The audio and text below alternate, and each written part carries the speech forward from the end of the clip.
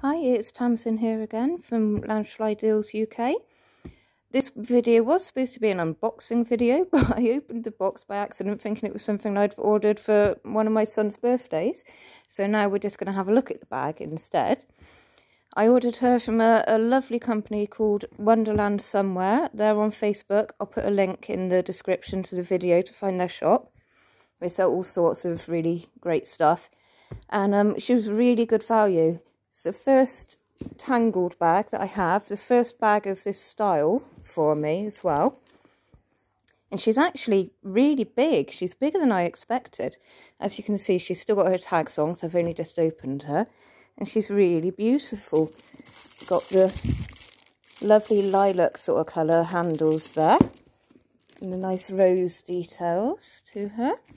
And the sides, you've got the, the Corona Sun and um, a gold silhouette of her.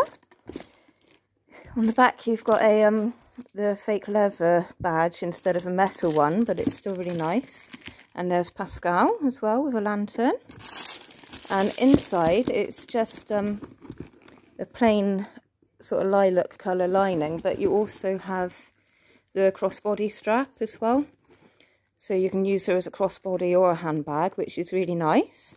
And I love the, the colour of the metal on her too. It's a really nice kind of um, bronzy colour really. And you've got a, a little zip pocket inside as well.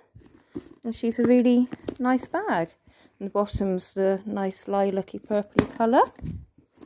I look forward to, to using her really when I get the chance. So there you go, that's uh, another of the bags having a look at.